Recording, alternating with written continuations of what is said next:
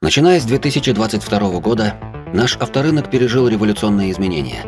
Известные всем автопроизводители покинули страну. Между тем появились другие перспективные компании, готовые представить новинки для нашего рынка. Кроме того, развивается и обновляется отечественный автопром. Так, АвтоВАЗ собирается в ближайшие два года представить целую россыпь новинок. Но самое главное из них – это долгожданная «Волга». Автомобиль, который должен стать новым символом российского автопрома и престижным выбором для чиновников и бизнесменов. Это не просто обновленная классика, а по-настоящему современный седан.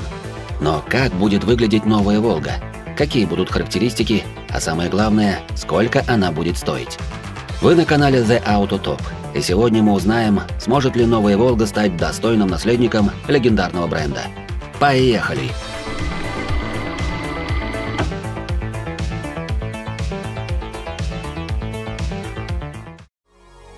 «Волга» Это легендарный бренд, который имеет богатую историю, начиная с 1956 года, когда на Горьковском автомобильном заводе была выпущена первая модель ГАЗ-21.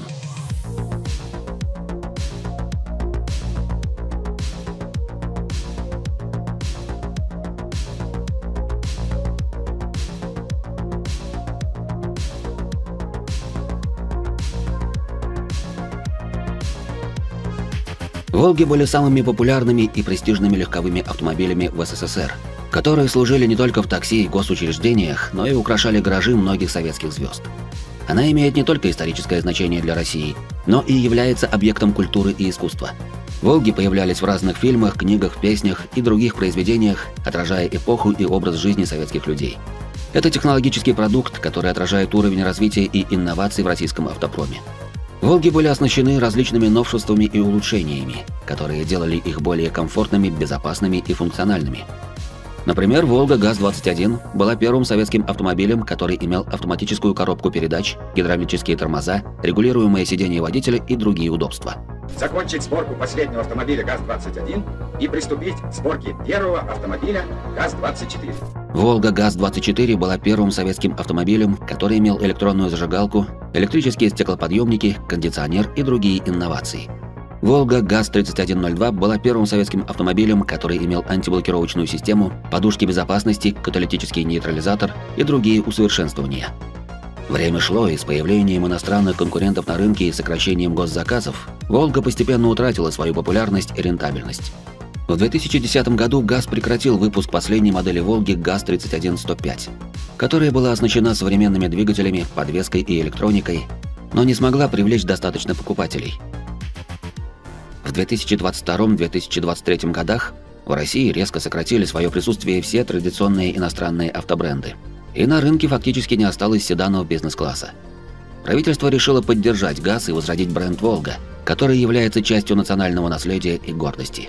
Вице-премьер, глава Минпромторга Денис Мантуров заявил, что в 2024 году на ГАЗе планируется запустить производство новой «Волги» для чиновников и бизнесменов – которая будет конкурировать с иностранными аналогами по качеству и комфорту, а также сохранит узнаваемый облик легендарного бренда.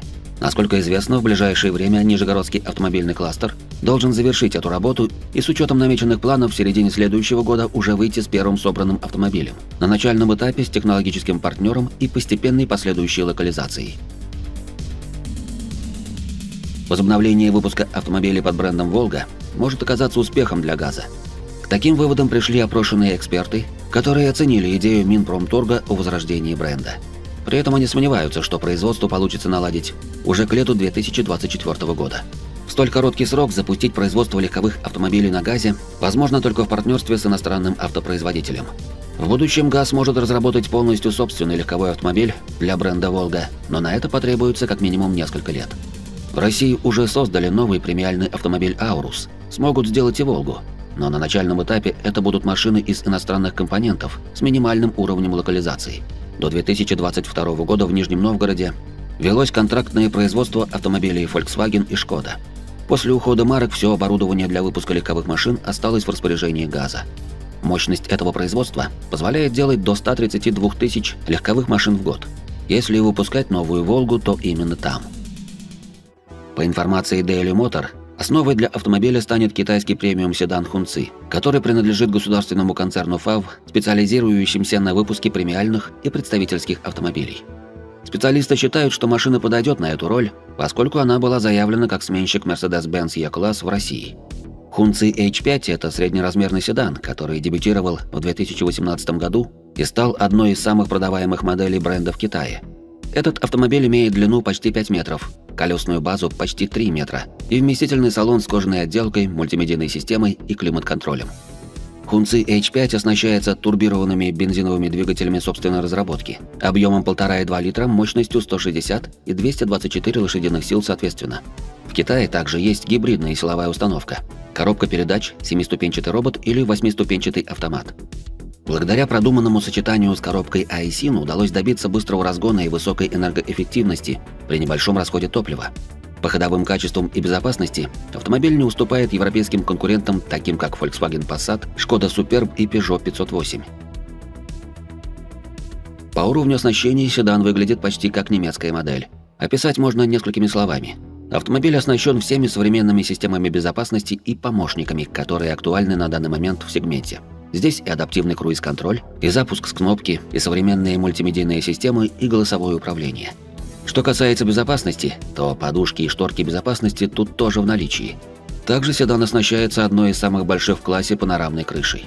Одна из отличительных черт автомобиля – современные комфортабельные сиденья с четырехпозиционным пневматическим поясничным упором и восьмипозиционным пневматическим массажером. Результаты независимого краш-теста показали, что это очень безопасный автомобиль. Целом он набрал почти 90%, что соответствует особенностям немецких конкурентов – работу бортовой электроники оценили более чем в 93%. Этот результат является одним из лучших на мировом рынке. С другой стороны, автомобиль плохо справляется с фронтальными ударами. Пассажиры на втором ряду могут получить серьезные травмы. Также седан не обеспечивает достаточной защиты пешеходов из-за конструктивных особенностей передней части кузова.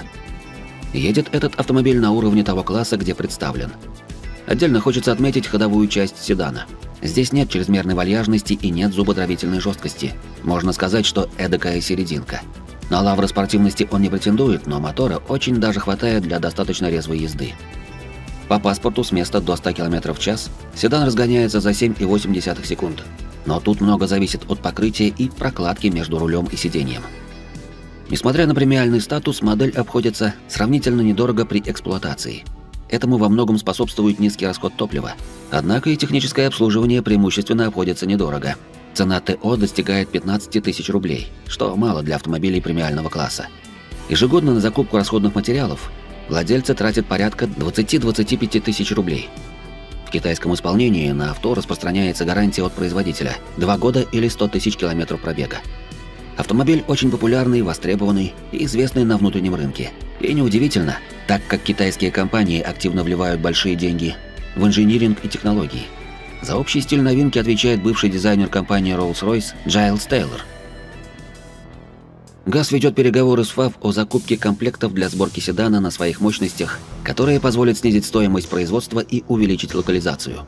При этом планируется внести некоторые изменения в дизайн кузова и салона – чтобы адаптировать автомобиль к российским условиям и сделать его узнаваемым под брендом «Волга».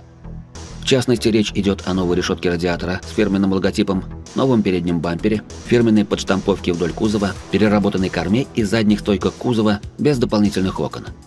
Также возможно изменение цветовой гаммы и материалов отделки, чтобы придать автомобилю индивидуальность и стиль.